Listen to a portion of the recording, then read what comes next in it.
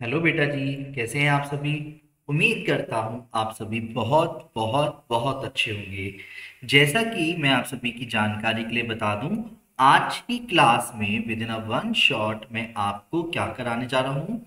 Matrix जैसे हम matrix के नाम से भी जानते हैं, और डिटर्मिनेंट्स कुछ ऐसी छोटी छोटी बारीकियाँ जो हम क्वेश्चन को करते समय गलती कर बैठते हैं तो मैं आपको ना कॉन्सेप्चुअली इस वीडियो में सारे कॉन्सेप्ट्स तो क्लियर कर दूँगा। पर उसके बाद में कोई पर्टिकुलर क्वेश्चन डाउट बनता है तो वो आप अलग से मेरे से कांटेक्ट कर लीजिएगा, ठीक है? पर आपके कॉन्सेप्ट ज़रूर रिवाइज हो जाएँगे हर छोटी से छोटी बात को लेकर के। तो आप सब रेडी हैं? बोलो हाँ। चलिए। तो सबसे पहले मैट्रिक्स और डिटरमिनेंट मैंने नाम एक साथ ही क्यों लिए? क्योंकि कहीं ना कहीं मैट्रिक डिटरमिनेंट है एक ही, क्योंकि जैसे लाइक इक्वेशन जब आपने देखा होगा सॉल्व करते हैं तो इक्वेशन को सॉल्व करते समय आपने एक चीज़ नोटिस करी होगी कि उसमें इक्वेशन में मैट्रिक्स भी आती है ज्वाइंट भी निकाल लो तो वो भी एक मैट्रिक्स होती है। और डिटरमिनेंट तो सिर्फ़ नाम का होता है ना? तो बेटा जी, ध्यान से समझना मैट्रिक्स किसे बोलते हैं? मैट्रिक्स बोलते हैं जब हम किसी डेटा को रो और कॉलम में अरेंज करते हैं। बात आती है, सर मैट्रिक्स दिखती कैसी है? एक क्लोज ब्रैकेट के फॉर्मेशन में भी दिख सकती है और ओपन ब्रैकेट के फॉर्मेशन में भी दिख सकती है, जिसके अंदर कुछ एलिमेंट्स रो और कॉलम में बिखरे हुए होते हैं। जैसे लाइक आई का मतलब होता है आई रो को डिनोट करता है आई किसको डिनोट करता है? रो को, और जे किसको डिनोट करता है? जे कॉलम को। याद रखना, यानी जो कि किसी ना किसी ऑर्डर में होता है एम बाई एन ऑर्डर में। एम बाई एन का मतलब हो गया एम बाई एन का मतलब है number of rows into number of column यानी क्या?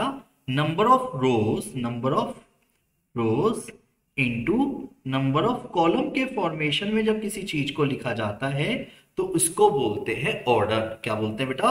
बाइनेम ऑर्डर बोलते हैं। क्या बोलते हैं? ऑर्डर और ये ऑर्डर पूरी मैट्रिक्स डिटर्मिनेंट के अंदर एक अहम रोल निभाता है। ध्यान देना, अभी शब्दों का यूज़ किया मैंने, ये रो किसे बोलते हैं? क्या बोला मैंने? रो किसे बोलते हैं? तो ये छोटी छोटी बातें जो मैं आप सभी के सामने लिखने जा रहा हूँ, ध्यान से सुनना। एक पहला टाइप है रो मैट्रिक्स रो मैट्रिक्स किसे बोलते हैं और कॉलम मैट्रिक्स किसे पहले बोलते हैं? पहले इस बात पे फोकस करते हैं। ठीक है, पहला पॉइंट और दूसरा पॉइंट कॉलम मैट्रिक्स देखो वर्टिकली शेप में जो होता है, ठीक है वर्टिकली उसे क्या बोलते हैं? कॉलम और हॉरिजॉन्टली जो होता है, उसे बोलते हैं रो देखो, सुनो। मैं तो ऐसे याद करता है सी सी से याद रहेगा कट काट दूँगा, काट। सब्ज़ी, बेटा, गला नहीं, कट, सी। सी से याद रहेगा क्या? Column, cut. इसे बोलते हैं कॉलम। तो एक और, एक होता है रो रो। तो रो में तो ऐसे दिखता है।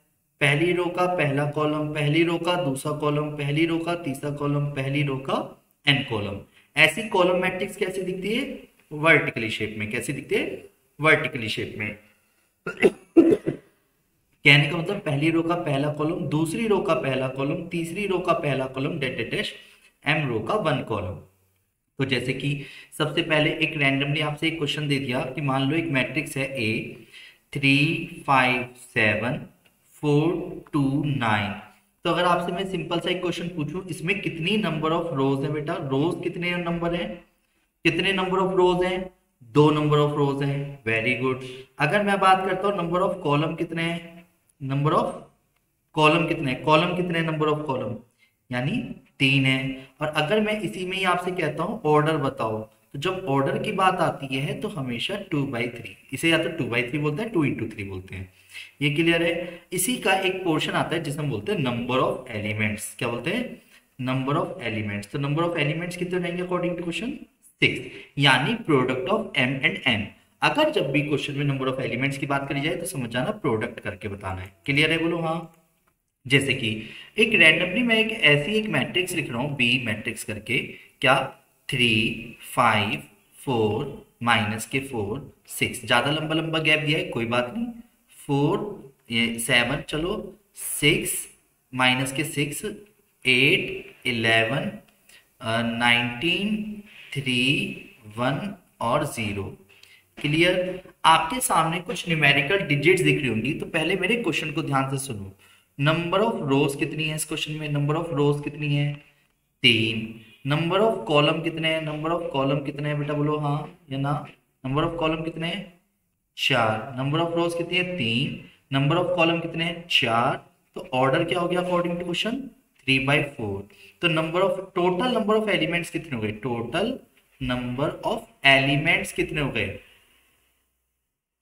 कितने हो गए? ट्वेल्व। ये क्लियर बोलो? हाँ। अब वेट अगर मैं आप सभी से एक बहुत सिंपल सा क्वेश्चन बोलूँ, मैंने कहा थ्री टू प्लेस पे कौन सा एलिमेंट है? स्मॉल ए थ्री टू इसका मतलब होता है तीसरी रो का दूसरा कॉलम यानी क्या बोला मैंने? तीसरी रो का दूसरा कॉलम तो तीसरी रो पे जाओ पहले. तो तीसरी रो ये रही. तीसरी रो का दूसरा कॉलम ये रहा. तो तीसरी रो का दूसरा कॉलम कौन है? थ्री ये समझ आया? अगर किसी क्वेश्चन में सिर्फ़ एलिमेंट्स भी पूछ सकता है अगर मैंने आपसे कहा टू वन बताओ तो टू वन बताने का मतलब हो गया दूसरी रो का पहला कॉलम। तो यहाँ पे दूसरी रो का पहला कॉलम कौन है? सेवन। तो यानी क्या हो गया आंसर? सेवन हो गया। नॉट अ बिग डील ये आपको समझ आ गया होगा मैं क्या बोल रहा हूँ। कि दूसरी रो का पहला कॉलम। डन बोलो हाँ। ऐसे ही फोर अब मैं अगर आपसे कहता फोर टू बताओ, चौथी रो का दूसरा कॉलम तो हम लिख देंगे नॉट पॉसिबल क्यों? पॉसिबल नहीं है। क्योंकि जब चौथी रो बनी नहीं रही तो उसकी चौथी रो का दूसरा कॉलम कैसे बता देंगे? आया समझ बोलो हाँ। ठीक है वेरी वेरी गुड कभी कभी कुछ क्वेश्चंस में आपको एलिमेंट्स दे करके वो ये पूछेगा, कितनी मैट्रिसेस आप बना सकते हो। क्या बोला? कि जैसे मान लो इफ़ नंबर ऑफ़ एलिमेंट्स यानी किसी क्वेश्चन में उल्टा क्वेश्चन पूछा if total number of elements आपको गिवन दिए गए, जैसे कि एनसीईआरटी e की बुक्स में और आईएससी की बुक में, सभी बोर्ड्स के एग्ज़ाम्स की बुक्स में आपको सबसे पहला क्वेश्चन यही देता है कि सपोज़ आपके पास 20 एलिमेंट्स हैं और आप इसकी मैक्सिमम मेरे क्वेश्चन को ध्यान से सुनो पॉसिबल मैट्रिक्स बताओ possible possible matrix of order possible order of matrix बताओ ऑर्डर क्योंकि मैट्रिक्स तो बता नहीं सकते मैट्रिक्स का ऑर्डर पूछेगा। तो ऐसे में क्वेश्चन क्या एराइज हुआ पॉसिबल ऑर्डर्स के केस में? पॉसिबल ऑर्डर्स के केस में जो आंसर होगा रिक्वायर्ड आंसर वो क्या क्या आ सकता है? इस देसी लैंग्वेज बोला जाए, जिनकी मल्टीप्लाई करके ट्वेंटी आ जाए, वो ऑर्डर हो गया। पर ऐसे सही नहीं है, कहने का मतलब लैंग्वेज से समझेंगे कॉन्सेप्चुअली यानी क्या? One into twenty twenty into one समझ पा रहे हो? ट्वेंटी इंटू वन इसका मतलब है, पहले क्वेश्चन का मतलब है, पहली एक रो बीस कॉलम फिर दूसरे वाले पार्ट का मतलब है, बीस रो एक कॉलम फिर टू दो रो दस कॉलम हो सकते हैं, दस रो दो कॉलम हो सकते हैं। चार रो पाँच कॉलम हो सकते हैं, पाँच रो चार कॉलम हो सकते हैं। इसके अलावा और कोई जो बताना चाहे, नहीं है। अगर वो आपसे ये कहता है नंबर ऑफ़ पॉसिबल ऑर्डर्स कितने होंगे? नंबर ऑफ़ पॉसिबल ऑर्डर्स कितने होंगे? तो जल्दबाजी में कहीं गलती से ऑर्डर मत लिखे। आना एक नंबर के question number of possible order हो गया इस टाइम पे सिक्स काउंट करके। ये क्लियर बोलो? हाँ। कोई ऐसा नंबर जो रह रहा हो? क्लियर है? वेरी गुड तो यानी इस तरीके के क्वेश्चन होंगे। पर कभी कभी कुछ क्वेश्चन बहुत बेसिक से भी होते हैं। जैसे लाइक क्या कि ऑलरेडी उसने एक मैट्रिक्स का नाम दिया कि ए एक मैट्रिक्स है ए आई जे फॉर्मेशन में और थ्री बाई टू की एक मैट्रिक्स आपको फाइंड करनी है। ये बल्कि आपको फाइंड करनी है। वेयर अलग से ए आई जे का नंबर दे देगा। ए आई जे का एक मतलब दे देगा। अब ए आई जे का मतलब कैसे दे देगा? Suppose five I minus two J upon three ऐसे दे दिया। तो एक चीज़ समझो, पहले तो आपको रिक्वायर्ड मैट्रिक्स बनानी पड़ती है। रिक्वायर्ड मैट्रिक्स ऑफ़ ए वो क्या है? पहले तो ये समझना है। वेट ए मैट्रिक्स का मतलब हो गया तीन रो यानी तीन रो दो कॉलम यानी कि नीचे की तरफ़ से तो ज़्यादा खींचना पड़ेगा लंबा, और दो कॉलम यानी पहली रो का पहला कॉलम पहली रो का दूसरा कॉलम दूसरी रो का पहला कॉलम दूसरी रो का दूसरा कॉलम तीसरी रो का पहला कॉलम, तीसरी रो का दूसरा कॉलम। ये क्लियर है बोलो? हाँ। यहाँ तक कोई दिक्कत तो नहीं है। इसे बोलते हैं तीन रो, दो कॉलम की एक मैट्रिक्स पहले ये समझ आई कैसे बनाया मैंने? ये पहली रो का पहला कॉलम, पहली रो का दूसरा कॉलम। तीन रो, दो कॉलम। एक तो ये सेंस पता होना चाहिए। अब बात आती है, सर सॉल्व कैसे करना है? नॉट अ बिग डील बच्चों वाली बात है जैसे एक्स और वाई की वैल्यू ठोकते हैं, ऐसी वन वन तो आई की जगह क्या रख देंगे? वन और जे की जगह क्या रख देंगे? वन मतलब जहाँ जहाँ आई दिखेगा वहाँ पे वन और जहाँ जहाँ जे दिखेगा वहाँ पे वन रख दो। तो आंसर क्या गया? वन। वन, टू, यानी जहाँ जहाँ आई की जगह वन, जे की जगह टू टू जो फोर, अपॉन थ्री, आंसर आ गया one by three. One three one, three का मतलब क्या गया? फाइव माइनस थ्री, टू जो सिक्स, अपॉन में थ्री तो आंसर आ गया minus one by three. Solve करना मेरे नोट बिग पहली बार तो वन, थ्री निकालना नहीं था। ठीक है? ऐसे करके ना फिर two one two two two three three two ऐसे आप आराम से सॉल्व करके यहाँ पे मैट्रिक्स को फिल कर देंगे। ये समझ आया? बोलो हाँ और मैं समझता हूँ ये question not a big deal आप आराम से कर सकते हैं। क्लियर है? वेट तो पर इसमें मैट्रिक्स को ध्यान में रखते हुए चलना है। फिर तीसरी पॉइंट फिर कुछ टाइप्स की बात करते हैं अभी धीरे धीरे। आराम आराम से। जैसे पहले आपने सबसे पहले रो मैट्रिक्स की बात करी। रो मैट्रिक्स का मतलब आपको क्लियर है। फिर दूसरा पॉइंट आता है इसे कॉलम मैट्रिक्स तो कॉलम मैट्रिक्स आपको क्लियर है? मैं फिर से भी मेंशन कर दूँ, पहले नाम लिख देता हूँ। फिर अब हम टाइप्स ऑफ़ मैट्रिक्स में सीखेंगे कि स्क्वायर मैट्रिक्स किसको बोलते हैं। क्लियर है? क्योंकि पाई नेम ये ये नाम यूज़ होता है, क्योंकि एक जो डिटर्मिनेंट होता है, वो सिर्फ़ और सिर्फ़ एक स्क्वायर मैट्रिक्स का ही पॉसिबल होता है, ये ध्यान रखना। स्क्वायर मैट्रिक्स हो गई, एक होती है डायगनल मैट्रिक्स डायगनल मैट्रिक्स किसे बोलते हैं, ये पता होना चाहिए। फिर इसी तरीके से एक नाम आता है हमारे सामने, स्केलर मैट्रिक्स, क्या बोलते हैं? Scalar matrix. स्केलर मतलब constant. Scalar matrix. Scalar matrix किसको बोलते हैं? फिर इसी तरीके से एक नाम आता है, स्केलर के बाद क्या? Zero matrix. फिर upper triangular matrix, not lower triangular मतलब तो नाम से भी समझ आ जाता है, जिसमें ऊपर के दो डिजिट्स हो, नीचे के ज़ीरो। वेट। तो अब जरा ध्यान से समझना। एक एक करके एग्जाम्पल्स भी लिखता रहूँगा और उसका मतलब भी लिखता रहूँगा। एग्ज़ाम्पल से ज़्यादा अच्छा समझ पाओगे। और सबसे मेन जो पॉइंट है, वो है आइडेंटिटी मैट्रिक्स यार, इसे कैसे बोल सकते हैं ना? आइडेंटिटी मैट्रिक्स एक्चुअली सारा खेल यहाँ से शुरू होता है आइडेंटिटी मैट्रिक्स तो सबसे पहले आता है रो मैट्रिक्स रो मैट्रिक्स दिखती है रो के फॉर्मेशन में। यानी पहली रो का पहला कॉलम पहली रो का दूसरा कॉलम पहली रो का तीसरा कॉलम डेट डेट डेट डैश पहली रो का एन कॉलम इसे बोलते हैं रो मैट्रिक्स कॉलम मैट्रिक्स किसे बोलते हैं? जो कॉलम फॉर्मेशन में हो। पहली रो का पहला कॉलम पहली, दूसरी रो का पहला कॉलम डेट डैश एम रो का वन कॉलम इसे बोलते हैं कॉलम स्क्वायर मैट्रिक्स की बात करें तो टू बाई टू का ऑर्डर हो थ्री बाई थ्री का ऑर्डर हो फोर बाई फोर का ऑर्डर हो, यानी जिसमें नंबर ऑफ़ रोज और नंबर ऑफ़ कॉलम सेम होती है, उसको स्क्वायर मैट्रिक्स बोलते हैं। Two five seven four one three minus one four ऐसे करके थ्री बाई थ्री का ऑर्डर हो गया, है ना?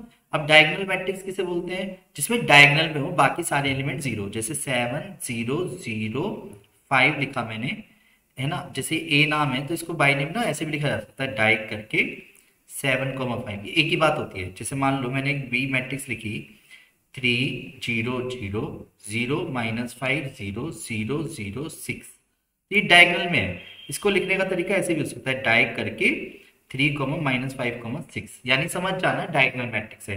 यानी डायगनल में होने चाहिए सारे एलिमेंट्स इसे डायगनल मैट्रिक्स बोलते हैं। स्केलर मैट्रिक्स बोलते हैं, जब कोई कांस्टेंट हो डायगनल हो, साथ में फिक्स नंबर हो स्क्वायर के साथ स्क्वायर मैट्रिक्स में।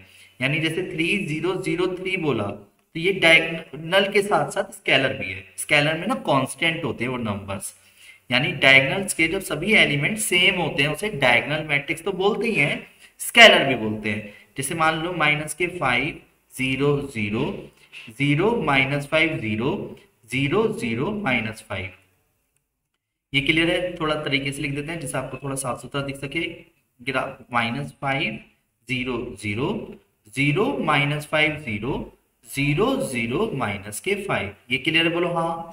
ज़ीरो मैट्रिक्स बोलते हैं, जिसमें से ज़ीरो ज़ीरो, और वो किसी भी ऑर्डर की हो सकती है। ज़ीरो ज़ीरो भी हो सकती है, zero zero zero zero zero zero भी हो सकती है। नल मैट्रिक्स या वॉइड मैट्रिक्स के नाम से जाना जाता है। आइडेंटिटी आई टू लिखा हुआ है तो समझ जाना। One zero zero one identity एक ऐसी मैट्रिक्स होती है, जिस मैट्रिक्स की किसी भी मैट्रिक्स से मल्टीप्लाई करने पर उस मैट्रिक्स पे कोई फ़र्क नहीं पड़ता। इसलिए आइडेंटिटी कहलाती है। यानी ये डायगनल भी कहलाती है स्क्वायर भी कहलाती है, साथ में स्केलर भी कहलाती है। यानी इसके डायगनल्स के एलिमेंट सेम होते हैं zero one zero zero zero one zero zero zero one इसे बोलते हैं आइडेंटिटी मैट्रिक्स यानी आई से नोट करते हैं। और इसकी सबसे अच्छी खासियत है, मैं फिर रिपीट कर रहा हूँ। अगर किसी मैट्रिक्स की, क्या बोला? अगर किसी मैट्रिक्स की आइडेंटिटी के साथ मल्टीप्लाई करते हैं या आइडेंटिटी की किसी मैट्रिक्स के साथ मल्टीप्लाई करते हैं तो सिर्फ़ मैट्रिक्स बचता है, जिसकी वजह से इसे आइडेंटिटी बोलते हैं। क्लियर बोलो? हाँ। जैसे फाइव इंटू वन फाइव आता है वन इंटू फाइव फाइव आता है लाइक वन की तरह ट्रीट हो रहा है। इसीलिए हमेशा इस बात का ध्यान रखना कि आइडेंटिटी मैट्रिक्स की किसी भी मैट्रिक्स से मल्टीप्लाई करे, चाहे वो इनवर्स मैट्रिक्स ही क्यों ना हो आंसर सेम आएगा। ध्यान रखोगे बोलो? हाँ। नेक्स्ट आगे बढ़ते हैं। आइडेंटिटी मैट्रिक्स ये हो गए टाइप्स अब सुनो, बहुत बच्चों वाली बातें हैं छोटी छोटी बातें हैं, इसके ऊपर क्वेश्चंस करने की नीड नहीं पड़ेगी आपको, क्योंकि आता है ये मैं ये मान के चलता हूँ। सबसे पहले आता है equality of two matrix equality of two matrix matrix बोलो मैट्रिक्स इन प्लूरल सेंस तो जब दो मैट्रिक्स आपस में इक्वल होती हैं, क्या बोला मैंने? जब दो मैट्रिक्स अब मैं एक एक पेज पे एक एक चीज़ लिखता चलूँगा, ध्यान से सुनते चलना। एक मैट्रिक्स है और एक दूसरी मैट्रिक्स है, जो कि आपस में इक्वल है। तो बस इसमें एक बात का ध्यान रखना है, अगर ये m बाई एन का ऑर्डर है तो ये भी m बाई एन का ही ऑर्डर होना चाहिए। और जब दो मैट्रिक्स आपस में इक्वल होते हैं तो उनके कॉरस्पॉन्डिंग एलिमेंट्स आपस में इक्वल होते हैं। फॉर एग्ज़ाम्पल सभी प्यारे प्यारे बच्चों, ध्यान दीजिएगा, जैसे मैंने कहा if X Y Z W is equal to two seven nine और माइनस वन है तो find the value of X Y Z and W तो एक्स की वैल्यू क्या कहलाएगी? टू वाई की वैल्यू क्या कहलाएगी? सेवन जेड की वैल्यू कहलाएगी नाइन एंड साथ में W is equal to minus one आया बेटा, समझ बोलो हाँ। नेक्स्ट आगे बढ़ते हैं बेटा जी।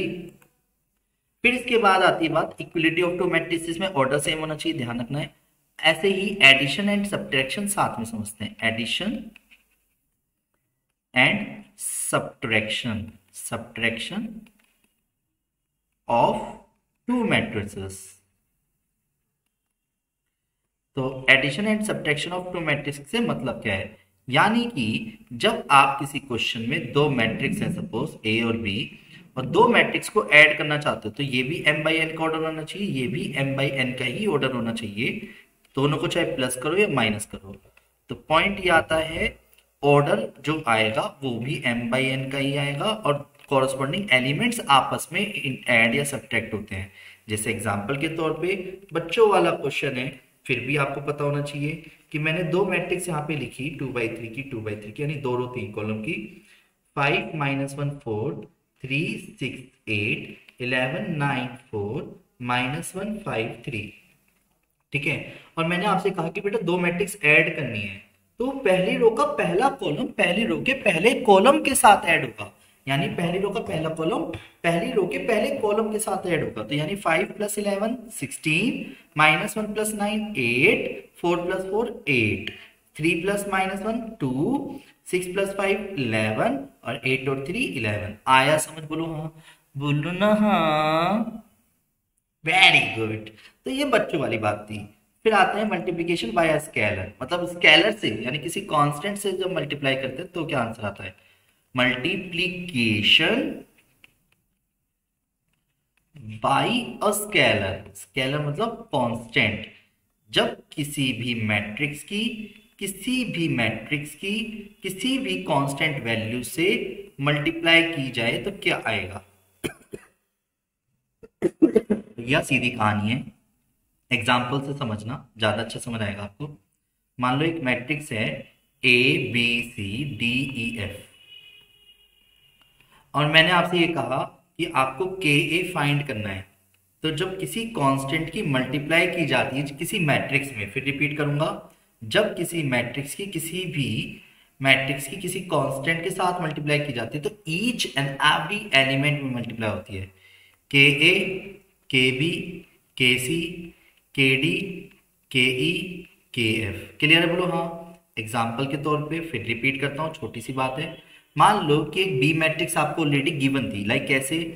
Two, one, three minus five four six और आपको सेवन ए यानी एक वीक की, जैसे मान लो ये डेटा पर डे का है, और उसने कहा एक वीक का डेटा बताओ। तो एक कॉमन सेंस हो गया कि आपको खुद से सेवन से मल्टीप्लाई करनी है।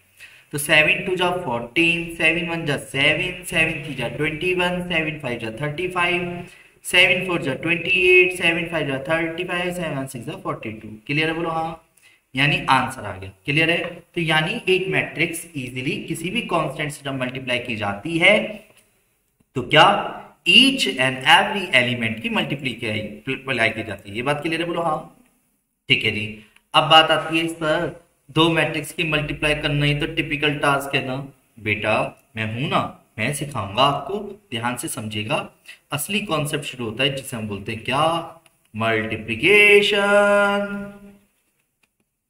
of two matrix of two matrix असली कॉन्सेप्ट अब आया। बेहतरीन कॉन्सेप्ट सारी कहानी मैट्रिक्स की इसी पे के लिए। है बेटे, पहले तो रूल सीखते हैं। मान लो जब दो मैट्रिक्स आपको दे रखी हो। क्लियर? तो एक तो एक बात का ध्यान रखना। अगर ये एम बाई एन का ऑर्डर है तो बी मैट्रिक्स एन बाई कुछ भी हो, पर मेन चीज़ क्या है? ये दोनों सेम होने चाहिए। क्या होने चाहिए? सेम होने चाहिए। देसी लैंग्वेज में बात करी जाए तो पहली मैट्रिक्स के नंबर ऑफ़ कॉलम दूसरी मैट्रिक्स के नंबर ऑफ़ रो के बराबर होते हैं।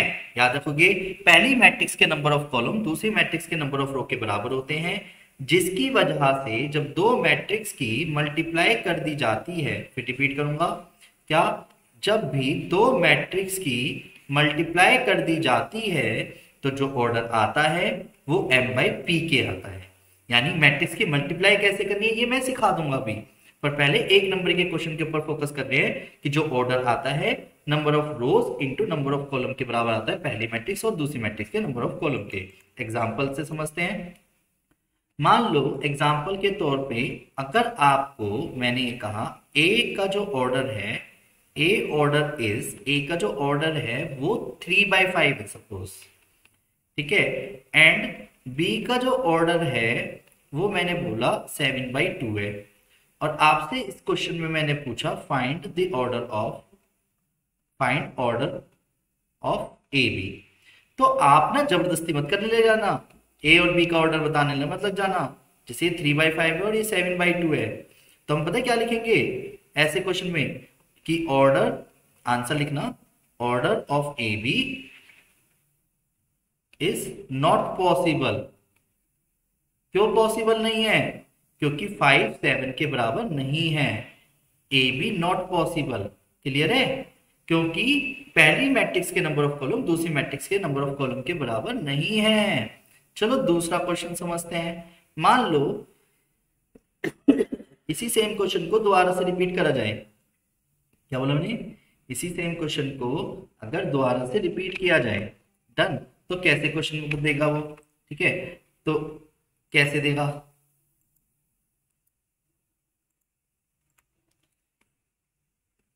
देखो। देखिए जरा, अब क्वेश्चन में अगर उसने पहले से ए का ऑर्डर दिया और बी का ऑर्डर दिया थ्री का थ्री बाई टू दिया इस बार ऑर्डर क्या? थ्री बाई टू और बी का ऑर्डर दिया उसने five two by seven suppose है ना? अब की बार उसने फिर से सेम क्वेश्चन पूछा, क्या? कि फाइंड करो find the order of A and B order of A B बताना है ऑर्डर ऑफ़ ए बी बताना है। तो फिर रिपीट करते हैं बेटा, पहले ए को लिखो बी को लिखो चेक करो क्या कॉलम और रो सेम है? हाँ जी सेम है। तो बाई डिफ़ॉल्ट अब ये पॉसिबल है कि ए बी का जो ऑर्डर आएगा वो थ्री बाय सेवन के आएगा। तो ऑर्डर ऑफ़ ए बी क्या हो गया इस क्वेश्चन में अब? थ्री बाय सेवन ये ध्यान रखोगे बोलो हाँ। ये तो एक रेस्ट्रिक्शन पे बेस्ड एक नंबर का क्वेश्चन था, बेहतरीन वाला। पर अब बात आती है मल्टीप्लाई कैसे करनी है? देखो, पहला एग्ज़ाम्पल से समझते हैं। दो क्वेश्चन लेके कर दूँगा। आप जिससे क्वेश्चन भी समझ सके और कॉन्सेप्ट भी। जैसे मान लो three five four two and एक बी मैट्रिक्स है। क्या माइनस वन सेवन वन और ज़ीरो क्लियर अब आपको मल्टीप्लाई करनी है तो आपको कैसे दो मैट्रिक्स की मल्टीप्लाई करनी है, ये समझना बहुत ज़रूरी है। थ्री फाइव फोर टू और माइनस वन सेवन वन और ज़ीरो सुनो, ऐसे मैट्रिक्स को पकड़ो। ऐसे? नो क्या करेंगे? ये, ऐसे। ऐसे पकड़ के, ऐसे। गाड़ी को गियर मतलब गाड़ी का जो स्टेयरिंग है, उसको पकड़ के ऐसे राइट में घुमाना है। ऐसे। कैसे? ऐसे। तो कैसे? ऐसे। तो पहले ऐसे पकड़ो और राइट हैंड साइड में घुमा दो। यानी कि according to question three five के इंटू इसमें होगी पहले। मतलब पहली रो की पहले कॉलम में, फिर पहली रो की दूसरे कॉलम में।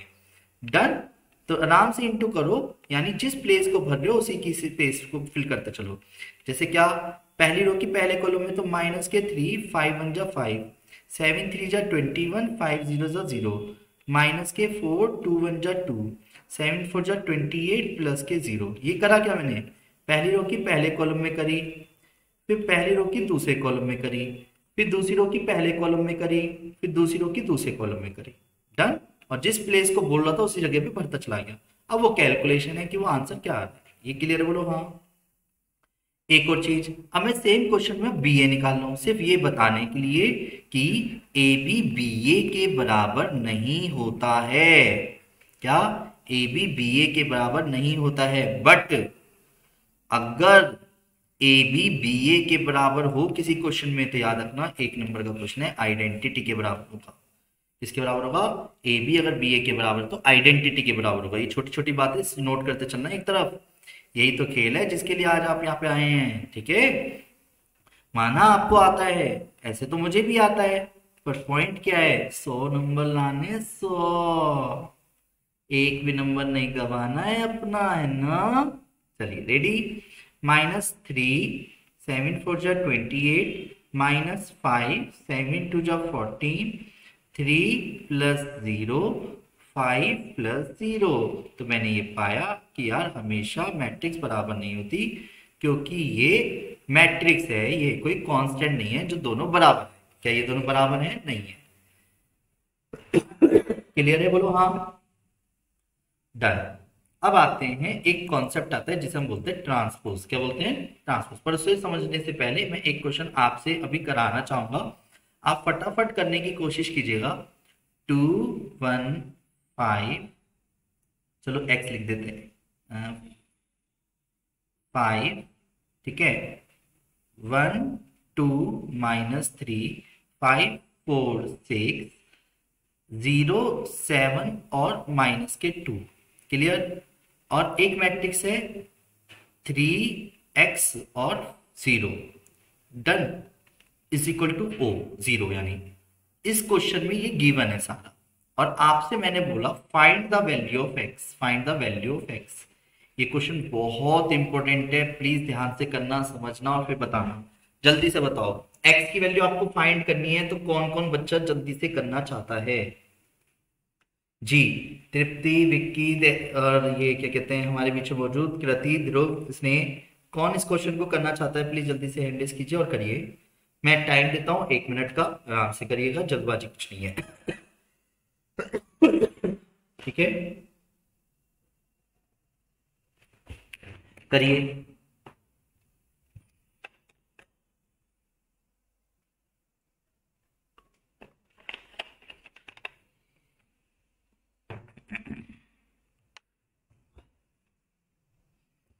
ओके। चलिए। इतने मैं भी करता हूँ। पहली रो की पहले कॉलम से होगी तो two plus five plus zero अब पहली रो की दूसरे कॉलम से तो यहाँ बनूँगा फोर फोर सेवन फाइव जो थर्टी फाइव और माइनस के सिक्स प्लस के सिक्स माइनस के टेन ये क्लियर बोलो? हाँ। आप किसी भी मैट्रिक्स की किसी मैट्रिक्स से नहीं कर सकते। या तो इस किससे करोगे इसकी से करोगे। पहली तीसरी आपस में नहीं कर सकते थे कभी। अब वेट ज़ीरो का मतलब zero zero zero zero according to question पहले इसको सही से लिख लेते हैं. सेवन आठ और पाँच, तेरह, एक, चार फोर्टी थ्री और ये हो गया माइनस का टेन थ्री एक्स ज़ीरो तो सेवन थ्री जा twenty one plus forty three X minus zero one by one की मैट्रिक्स आएगी क्योंकि ये वन बाई थ्री का ऑर्डर है. ये थ्री बाई वन का ऑर्डर है। इस बात को ध्यान रखते हुए चलना। ठीक है? ठीक है? बोलो हाँ ठीक है? नेक्स्ट तो x की जो वैल्यू आएगी वो माइनस के twenty one divide by forty three आया समझ, बोलो हाँ। आया। I am solving it answer क्या आया बेटा? Minus twenty one by three आया सभी का। ज़ीरो गलत आया ज़ीरो का तो सेंस ही नहीं बनता ना। मेरे बच्चा, ये तो गिवन है ना। इफ़ अगर। और किसी का भी आंसर आया, जल्दी से बताओ। ये समझ आया कैसे कराए? गुड वेरी गुड गुड चलिए नेक्स्ट आगे बढ़ते हैं। हम्म। क्या बोला मैंने? ट्रांसपोज ऑफ़ अ मैट्रिक्स एक ट्रांसपोज को डिनोट पहले कैसे किया जाता है? पहले तो ये समझते हैं, कई बच्चे कंफ्यूज रहते हैं। देखो ट्रांसपोज को एक तो ए टी से या ए डैश से या ए के ऊपर बार से भी डिनोट कर देते हैं, पर बार बहुत कम मिलेगा, इसलिए दो को ही फोकस के लिए करते हैं, जिससे आप कंफ्यूज ना हो। क्लियर ट्रांसपोज का मतलब होता है रो को कॉलम में इंटरचेंज करना। रो को कॉलम में, जब कॉलम में कॉलम में इंटरचेंज करते हैं तो इसको क्या बोलते हैं? ट्रांसपोज बोलते हैं। अगर मान लो कि एक ए मैट्रिक्स है three seven five two minus one six और मैंने ये कहा आपसे किसी क्वेश्चन में ट्रांसपोज करना है। तो ट्रांसपोज का मतलब होता है रो को कॉलम में इंटरचेंज करना, यानी three seven five two minus one six not a big deal अब इसकी कुछ प्रॉपर्टीज़ हैं। क्या बोलो मैंने? Properties pro properties properties of transpose बहुत इंपॉर्टेंट हैं, कई क्वेश्चनों में हेल्प करेंगी। पता होंगी तो ही आप यूज़ कर पाओगे, नहीं पता होंगी तो फिर आप हवा में तीन मारोगे। उससे कोई फ़ायदा नहीं ठीक है? ध्यान से समझना, पहली प्रॉपर्टी प्रॉपर्टी नंबर वन अगर किसी मैट्रिक्स का ट्रांसपोज ट्रांसपोज मतलब डैश का फिर से डैश कर दिया जाए? तो यानी किसी मैट्रिक्स का ट्रांसपोज करके अगर अगेन ट्रांसपोज करते हैं तो वापस ए आ जाता है। ध्यान रखोगे। बहुत कॉमन है, फिर से ट्रांसपोज करूँगा तो सेम आना है। दो मैट्रिक्स को ऐड करें या सब्ट्रैक्ट करें, फिर ट्रांसपोज करें, या फिर ट्रांसपोज करें ट्रांसपोज करें, फिर ऐड या सब्ट्रैक्ट करें, कोई फ़र्क नहीं पड़ता। तीसरा पॉइंट अगर किसी कांस्टेंट से मल्टीप्लाई करके ट्रांसपोज किया जाए, या ट्रांसपोज करके किसी कांस्टेंट से मल्टीप्लाई किया जाए, कोई फ़र्क नहीं पड़ता। और ये इंपॉर्टेंट है। ये प्रॉपर्टी काफ़ी इंपॉर्टेंट है, इसे ध्यान रखना। अगर ए बी मैट्रिक्स का होल का ट्रांसपोज किया जाए तो बी ट्रांसपोज ए ट्रांसपोज के बराबर होता है। ए बी का होल का transpose B transpose A transpose के बराबर होता है, जो कि मैं अभी एक क्वेश्चन में करके दिखाऊँगा। बेहतरीन तरीके से यूज़ होगा। बस याद रखना ट्रांसपोज हो इनवर्स हो एडजॉइंट हो। एक ही बात होती है कि बाद वाले का ट्रांसपोज पहले पहले वाले का बाद में इनवर्स में भी सेम है और एडजॉइंट में भी सेम है। अभी ये बात मैं लास्ट में लिख दूँगा अच्छा फिर से, ठीक है? रेडी अच्छा एक और बात जो मैं आप सबको बताना चाहता हूँ। चलो ट्रांसपोज का तो कॉन्सेप्ट क्लियर है, पर इससे ना दो नाम निकल के आते हैं, जिसे हम बोलते हैं सिमेट्रिक और स्क्यू सिमेट्रिक मैट्रिक्स क्या बोला बेटा जी मैंने? सिमेट्रिक मैट्रिक्स और स्क्यू सिमेट्रिक मैट्रिक्स अगर A is a symmetric matrix हो, क्या बोला मैंने? सिमेट्रिक मैट्रिक्स हो। If A is a symmetric matrix तो अगर A is a symmetric matrix है, ठीक है? और अगर A is a skew symmetric matrix है क्यू सिमेट्रिक मैट्रिक्स है तो इनका मतलब क्या होता है? पहले सुनो, समझो, तसल्ली से। जब किसी मैट्रिक्स का ट्रांसपोज करके उसी के बराबर आ जाए, क्या बोला मैंने? जब किसी मैट्रिक्स का ट्रांसपोज उसी के बराबर होता है तो बाई नेम उसको सिमेट्रिक मैट्रिक्स बोला जाता है। एग्ज़ाम्पल से ज़्यादा अच्छा समझ आ पाएगा आपको। तो पहले एग्ज़ाम्पल समझिएगा। क्या? कि मान लो एक ए मैट्रिक्स है आपके सामने थ्री फाइव फाइव सेवन और मैं आपसे कहता हूँ, बेटा इसका ट्रांसपोज करो। तो आप बार बार क्या करोगे? थ्री फाइव फाइव सेवन आप जब जब ट्रांसपोज करोगे, यही आएगा। तो सीधी कहानी है। क्या ए ट्रांसपोज ए के बराबर है या नहीं है? है। तो जिसकी वजह से आप क्या बोलोगे? A is a symmetric matrix clear बोलो? हाँ। इसी तरीके से जब किसी मैट्रिक्स का ट्रांसपोज उसी के खुद के नेगेटिव के बराबर हो, क्या बोला?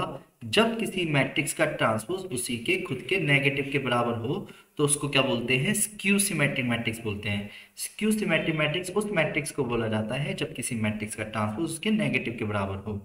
फॉर एग्ज़ाम्पल सभी ध्यान दीजिएगा कि मैंने अगर आपसे कहा एक ए मैट्रिक्स है suppose zero five minus five और ज़ीरो और इसका ट्रांसपोज करो, देखो।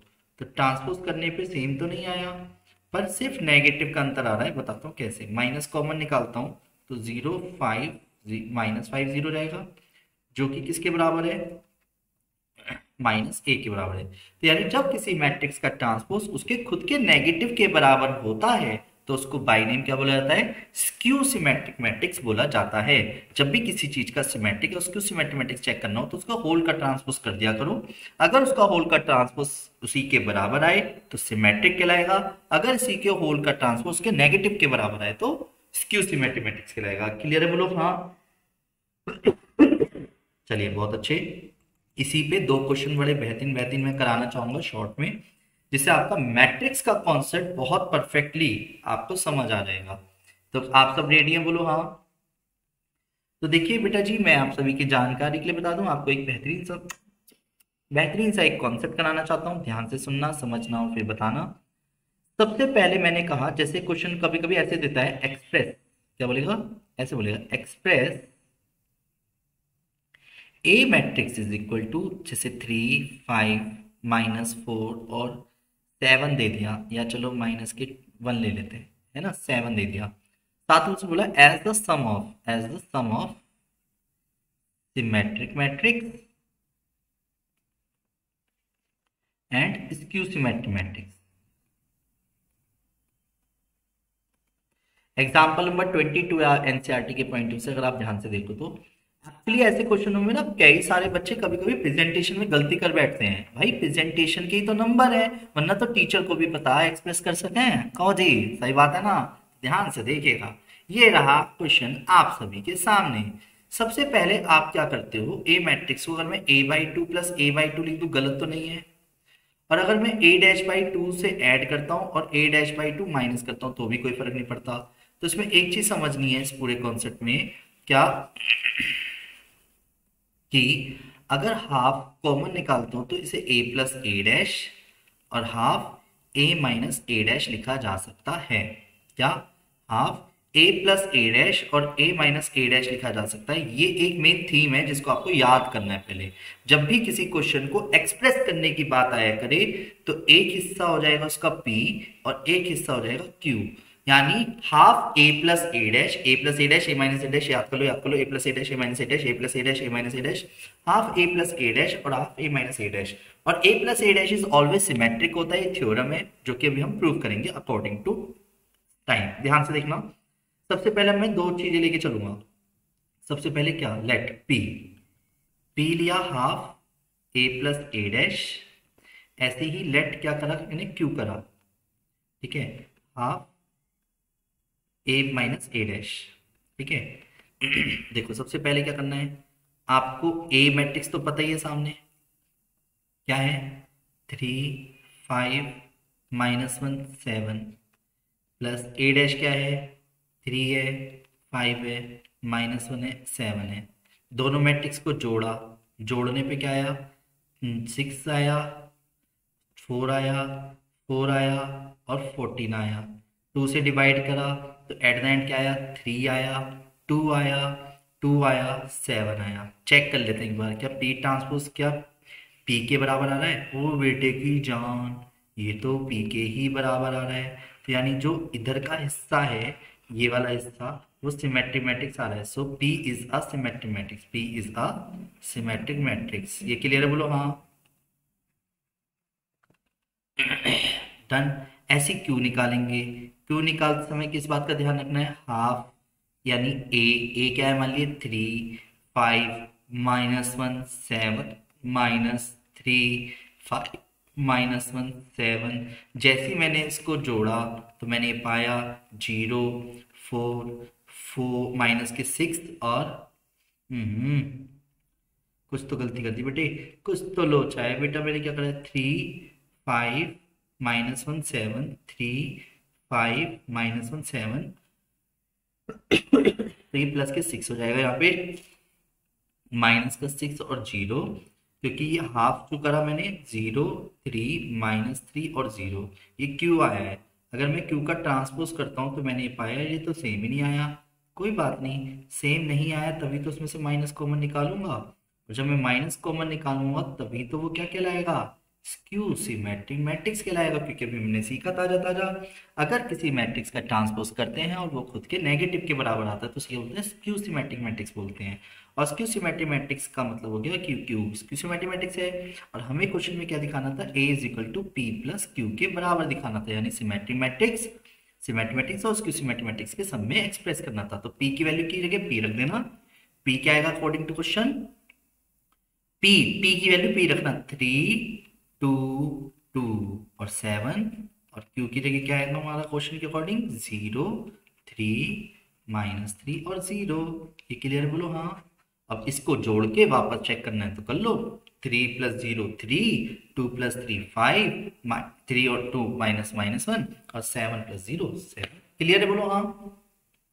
तो ये प्रेजेंटेशन है, इनको ध्यान रखना। आया समझ बेटा बोलो? हाँ। नेक्स्ट आगे बढ़ते हैं। तो इसी तरीके से एक स्पेशल कैटेगरी का क्वेश्चन लेते हैं। बहुत इंपॉर्टेंट है, वो तो बहुत ही इंपॉर्टेंट है समझो एक्सप्रेस करने में। अगर मान लो, आपसे किसी क्वेश्चन में कभी थ्योरेटिकल क्वेश्चन होते हैं, उसने कहा if A and B are if A and B are both both यानी दोनों ही सिमेट्रिक मैट्रिक्स हैं डन और आपसे शो दैट बोले या चेक करने के लिए बोले शो दैट जिस, किस, कुछ ना कुछ तो शो दैट करने के लिए बोलेगा शो दैट जैसे उसने बोला A B minus B A is a symmetric matrix है। क्यू सिमेट्रिक मैट्रिक्स है, ये शो करो। अब ऐसे कैसे शो करें? तो सॉल्यूशन समझते हैं। पहले तो उसने गिवन क्या दिया है? पहले उस बात को देखते हैं। गिवन उसने कहा A is a symmetric matrix है। अच्छा जी। वो लिख लिया करो अपने पास, है ना? और B is also symmetric matrix है। ठीक है जी। तो इसका मतलब क्या हो गया? इसके सेंस से क्या निकल के आया? तो हम कह सकते हैं कि यानी क्वेश्चन में क्या गिवन है? A transpose equal to A के बराबर है। बोलो हाँ। और ऐसे ही बी ट्रांसपोज किसके बराबर है? बी के बराबर है। बोलो हाँ। यानी ए ट्रांसपोज ए के बराबर और बी ट्रांसपोज बी के बराबर। आया आया आया। अब स्टार्ट करते हैं सॉल्यूशन कैसे? सॉल्यूशन में एक चीज़ समझना, आपको अपनी तरफ़ से एक हेडिंग डालनी हमेशा। अगर आप चाहते हो इस तरीके के question within one shot करना हर किसी को नहीं बताता हूँ ये वाली बात मैं। ठीक है, अपने इसलिए बता रहा हूँ घमंड तो नहीं करोगे। बेटा, जब भी किसी क्वेश्चन में क्या बोला जब भी किसी क्वेश्चन में आपको शो करने के लिए बोला करे कि ए बी माइनस बी ये सिमेट्रिक मैट्रिक्स प्रूव करो। ठीक है, क्यों सिमेट्रिक मैट्रिक्स इसमें? जिस भी चीज़ को शो करना है, उसका होल का ट्रांसफ़र खुद से लेके चलो। मैं फिर रिपीट कर रहा हूँ, जिस भी चीज़ को शो करना है, उसका खुद का, खुद से होल का ट्रांसपोज लगा दो। कैसे? मैंने अब जैसे विनोद लिख तो दिया। क्या लिखूँगा उसके आगे? मैंने खुद से पहले जिसको शो करना है, वो वाला हिस्सा उठाया और उसके ऊपर खुद से ट्रांसपोज लगा दो, बात खत्म। अब अपना आप क्वेश्चन शुरू रहेगा। अब ये मेरे लिए x है, ये मेरे लिए y और बीच में माइनस है। तो ट्रांसपोज ये कहता है कि x माइनस वाई का होल का transpose x transpose minus Y transpose तो क्या मैं ए बी का होल का ट्रांसपोज और बी ए का होल का ट्रांसपोज लिख सकता हूँ? बोलो हाँ। पहले खुद से ट्रांसपोज लिख लो। और वी नो दैट लिखा है तो जानते हैं ना तो ये। और वेट अभी बताया ताज़ा ताज़ा कि ए बी का होल का डैश बी डैश और ए डैश के बराबर होता है। जिसकी वजह से मैं इसको ए बी के ट्रांसपोज को बी ट्रांसपोज ए ट्रांसपोज कह सकता हूँ और ए बी ए के ट्रांसपोज को ए ट्रांसपोज बी ट्रांसपोज कह सकता हूँ और बी ट्रांसपोज को अकॉर्डिंग टू क्वेश्चन बी कह सकता हूँ क्योंकि क्वेश्चन में सिमेट्रिक मैट्रिक्स गिवन है। ए ट्रांसपोज यानी एक के बराबर है। ए ट्रांसपोज ए के बराबर और बी ट्रांसपोज बी के बराबर। यहाँ तक कोई दिक्कत है।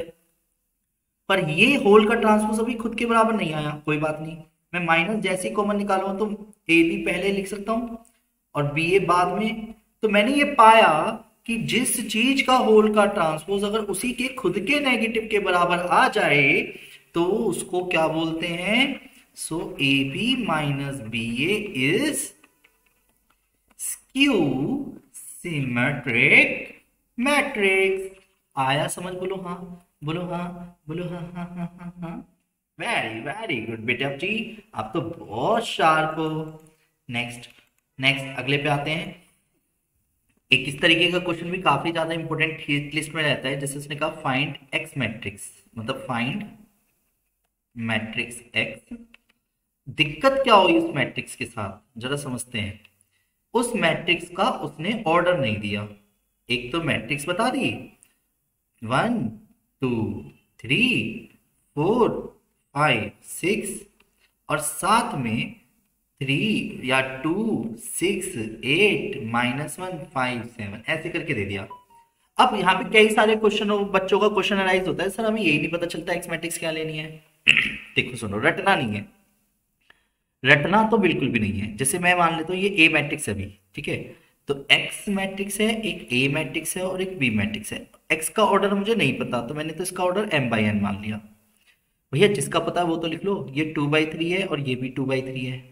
अब मुझे एम और एन चाहिए ना? यानी जो मुझे एक्स मैट्रिक्स लेट करनी है, वो क्या लेट करनी है? ये क्वेश्चन मार्क है आपका एक सुनो। देखो, मैंने बताया था जब दो मैट्रिक्स की मल्टीप्लाई करते हैं तो इन दोनों का बराबर होना ज़रूरी है। बोलो हाँ तो जिसकी वजह से एन बराबर टू आ गया तो यानी अब एक्स ए की जो मैट्रिक्स आएगी मल्टीप्लाई करके, वो एम बाई थ्री आएगी।